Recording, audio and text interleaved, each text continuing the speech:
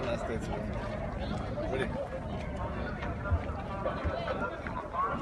Yeah? Yeah. Here, yeah? Okay. Do you know what I found interesting, right? There's a book, there's a very famous book. It's called The Art of War. Yeah, it's written, it's written by someone called Sun Tzu. And it's a, it's a book, if you read it, it's not that long. It's about military warfare. And he's he's telling, he's giving advice to generals on how to, to act, basically, how to do do this and don't do that. Basically, giving them advice. What I found interesting about this book is that it was actually used, it's used by businessmen and managers and people from different, you know, professions. And I was thinking to myself, what is the link between, you know, the military environment and, for example, business and so on? And the answer is, is that if you can deal with the military environment, then you can use the same exact principles and maxims in business and life and family and the domestic environment and so on and so forth. Now it's very interesting because Sun Tzu's book is very much celebrated and very much kind of held to high esteem in the academic world.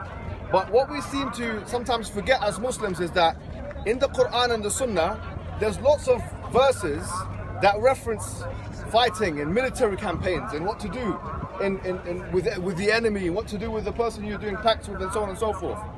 Now, some of that might not be applicable to our everyday lives now. Let's be frank and honest, right? It might not be applicable. But it's the same thing that applies, right? So, in the same way as that a business businessman might be looking at to Sun Tzu's book of the art of war, so that they can extrapolate those those morals and those lessons and those maxims and principles in order to kind of better their their professional environment and their work.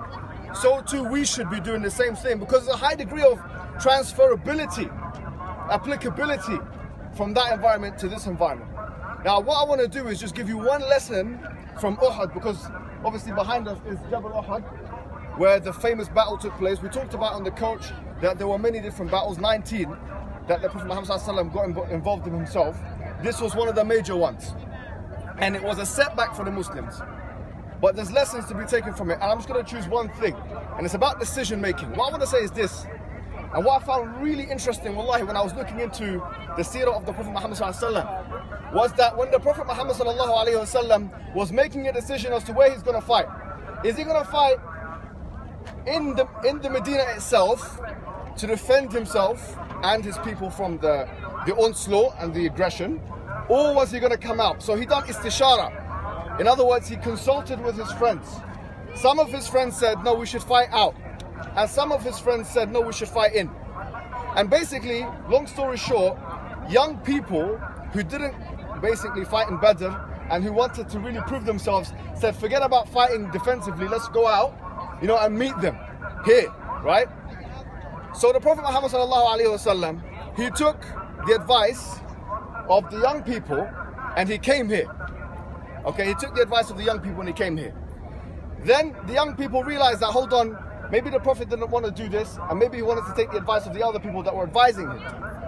And he said something which I want to make the, the crux of this whole discussion here. And I want you to remember this. Wallah, it's one of the most powerful statements you will ever hear.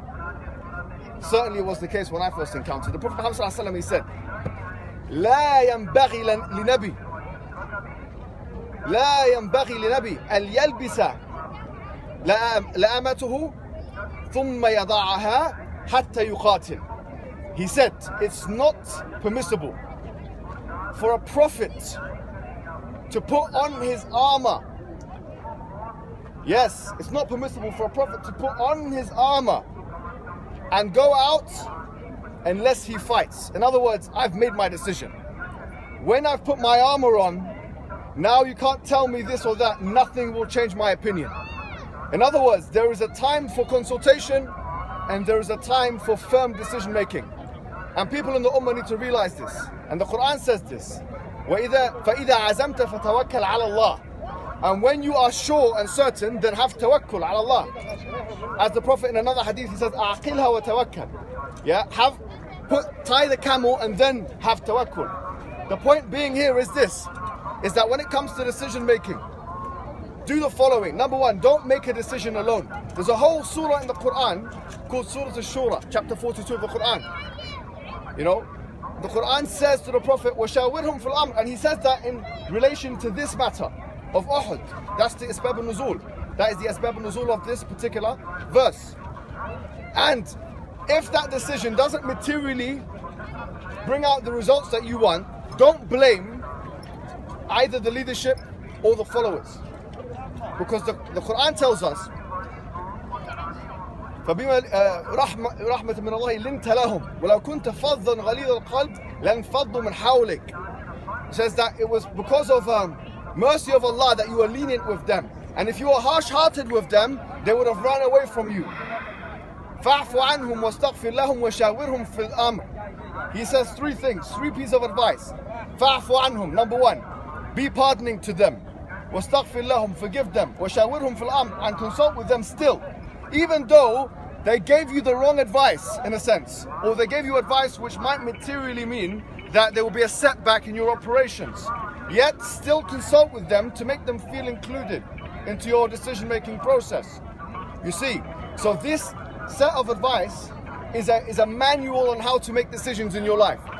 And although we're not going to be making military decisions, we are going to be making domestic ones, familial ones, business ones, educational ones, academic ones you know?